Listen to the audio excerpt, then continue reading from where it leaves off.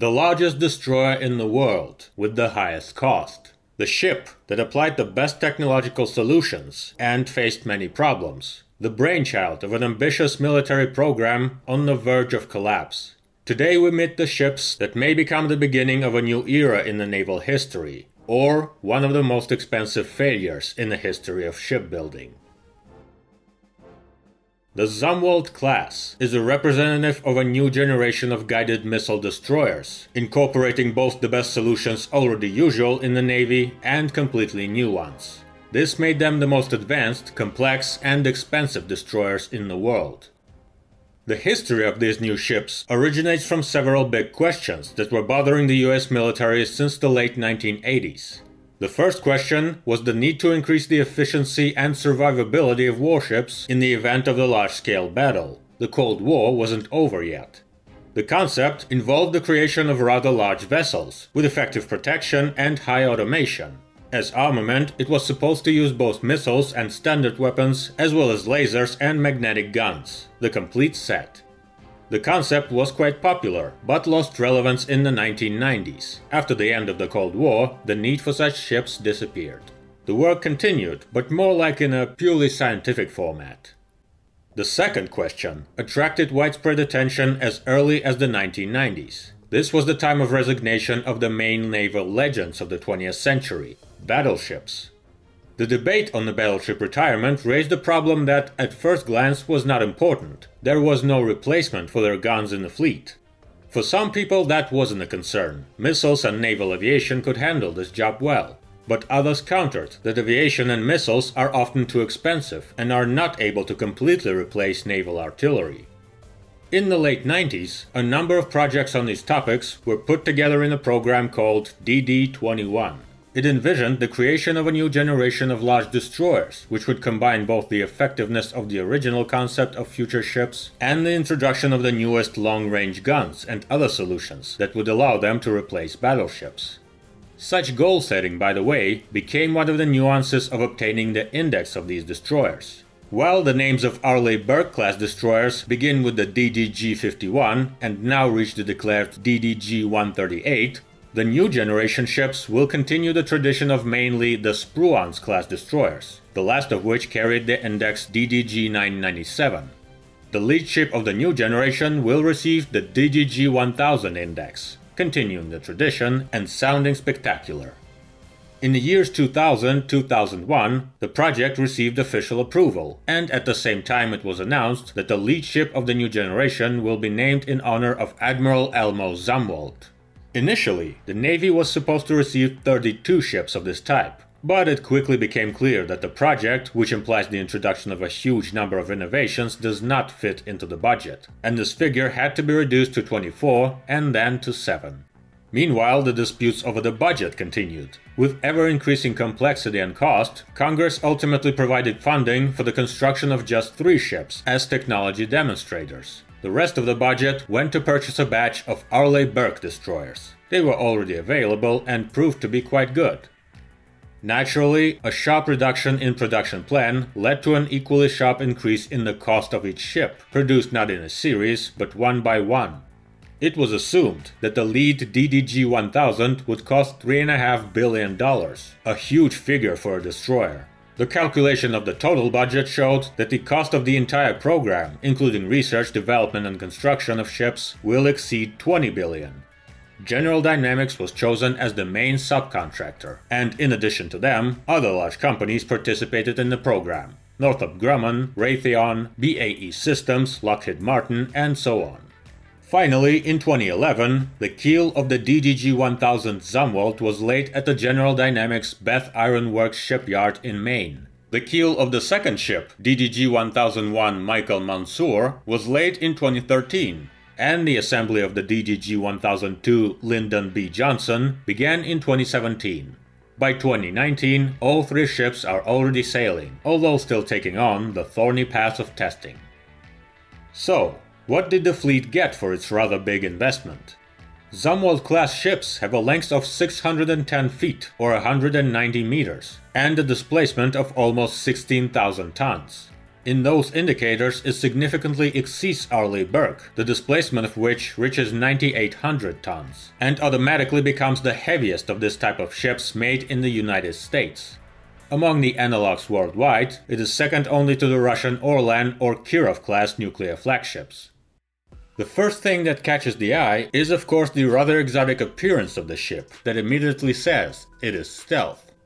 I have to note that reducing radar visibility is already quite a normal practice in the new warship's design, but in the Zumwalt program, this task was one of the main ones. A faceted shape with a minimum number of parts. Most of the equipment is hidden inside the structure, and the surface itself has special radar absorbing coatings. The same goal was pursued in the design of the power plant, its core is a pair of Rolls-Royce MT-30 gas turbine generators with a power of 35.4 megawatts each. They generate electricity for all the ship's systems. This is one of the special features. The ship is almost completely electric, including engines. The use of this kind of power plant introduces certain technical risks and leads to the rise of the project cost. But on the other hand, this solution makes it more compact and, what is also important, quiet. Along with additional vibration absorbing elements and new cooling systems, it reduces the ship's infrared signature, and by noise, it is at the level of modern submarines. The ship doesn't become invisible, of course, but in disguise, it achieved serious results. Despite the fact that Zumwalt class ships themselves are very large, their radar cross section, or roughly speaking their visibility on radars, does not exceed that of a small civilian vessel, yacht or a fishing boat, whereas classic destroyers glow like Christmas trees.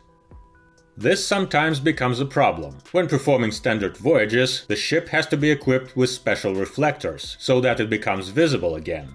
It would be a shame to find out that the most expensive destroyer in the Navy almost sank because, due to its disguise, someone crashed into it. Of course, the widespread of stealth technology is not only controversial in terms of traffic. It's not a submarine. Is there even a point in making the ship of this size invisible on radars, if it potentially will be used in coastal areas with active sea traffic, when it will be observed visually? In addition, all the excellent solutions to ensure stealth lose all meaning at the moment it opens fire. This means that its survivability will be at maximum while sailing, but on direct participation in military operations, it will not have significant advantages over its classic colleagues. The ship is capable of accelerating to a speed of 30 knots, and its total energy capacity significantly exceeds this indicator on similar vessels. This is done mainly for the future, to power new types of weapons, laser and magnetic, that may be installed later. In terms of appearance and controllability, many people can have the idea that a ship with such a huge tumble home suffers from instability, and on a sharp turn may even roll over. The Zumwalt class has many problems, but instability is not one of them. During the sea trials they showed themselves pretty good. And looking back, we can point out much more extreme designs starting with Japanese battleships with huge towers on decks, and ending, for example, with the USS Long Beach cruiser, with its frightening appearance, which did not stop it from serving at sea for decades without any problems. Of course, given the requirements to provide artillery support for coastal forces, the ship had to get new guns. Replacing the giant main calibers that the battleships were so proud of was not an easy task.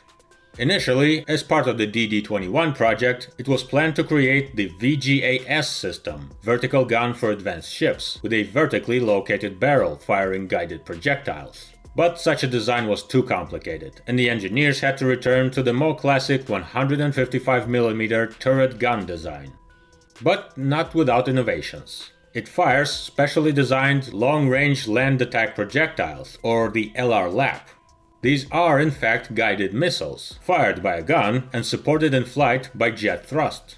Given that each ship is equipped with two of those guns, it's safe to say that Zumwalt has surpassed its mighty ancestors.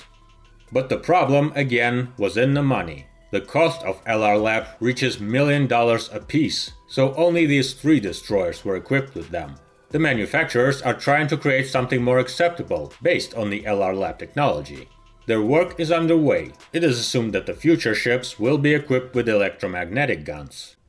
And we can't forget about the little things. The main caliber is good for artillery strikes, but for protection from small ships and boat attacks, Zumwalt received a 30mm Mk46 gun.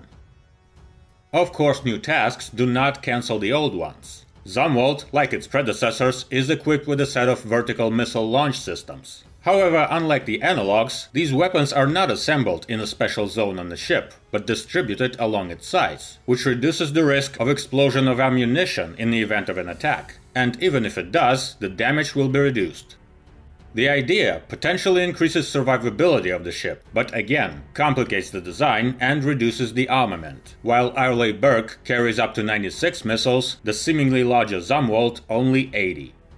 The ship may contain additional transport, marine and aerial. The aft deck has a large landing area with a hangar that can accommodate two helicopters. At the bottom, there is an internal dock for accommodation of boats. The rest of the filling is also almost at the highest level. Initially, it was assumed that Zumwalt will be equipped with several active electronically scanned array radar stations, operating in different wavelength ranges in parallel. But later, it was decided that radars so powerful and complex were just too much, and to save money, they were simplified.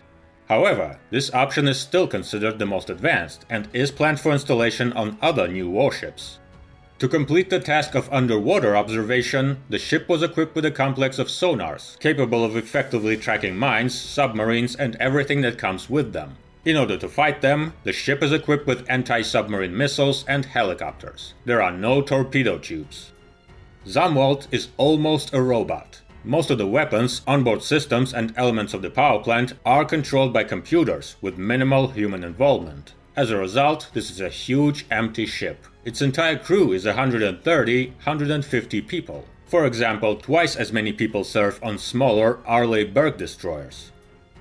This number of innovations, including the introduction of technologies created from scratch, could not come without problems. And there is a lot of them in all directions, from software to generators. The main problem, of course, was the monstrous cost.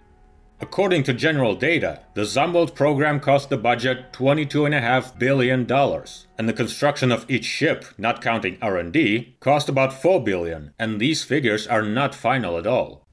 The main reason for the success in the initial budget is probably the excessive ambition of its executors. The military and the industry tried to introduce everything in one ship.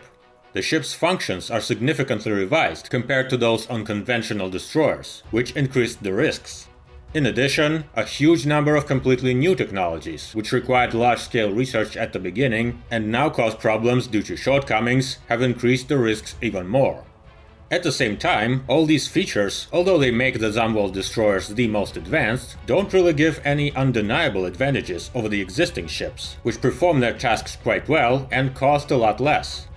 As a result, instead of a serious fleet group, the Navy received only three vessels that still need to be brought to real combat readiness. And the military are forced to continue purchasing and modernization of old ships and to develop new projects. Can Zumwalt, in this case, be considered a colossal failure? Well, if you look at them as just new destroyers, then yes, spending $22 billion on three ships is crazy. They could build a fleet of simpler ships instead, but if you look at everything as a research program with three prototypes, it will still be an inadequately expensive program. But it must be taken into account that the number of technologies created for it is huge, and the ships are now acting as labs, working out promising solutions that would otherwise be very difficult to implement. Zumwalt was born in agony, devouring time, effort, and money, and it never became the next generation of future warships. But the created potential is huge and in one form or another will definitely be implemented on other projects, one of which finally will become the new generation that everyone has been waiting for a long time. Meanwhile, the story of this epic trinity continues, unlike today's video. Comment what you think about the prospects of these sea monsters, and be sure to subscribe to the channel. There's a lot of interesting things on the horizon.